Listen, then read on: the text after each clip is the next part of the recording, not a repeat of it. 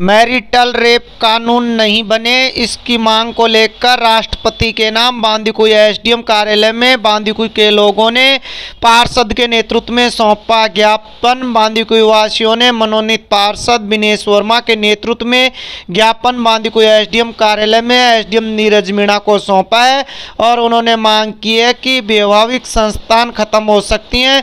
इसको लेकर सुनिए क्या कुछ कह रहे हैं पार्षद। किस मांग को लेकर ज्ञापन दिया?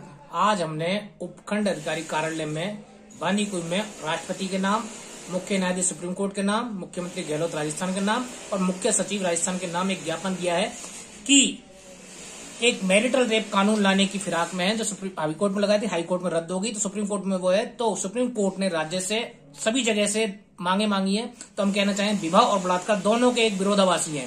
जब विवाह हो गया तो बलात्कार नहीं हो सकता, बलात्कार हो गया तो विवाह नहीं हो सकता।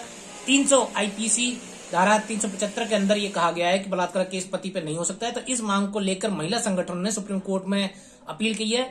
अगर विवाह के बाद ही मैरिटल रेप कानून आता है तो ये संस्कार खत्म हो जाएँगे। विवाह में रेप का एक कोई तरीका ही नहीं है।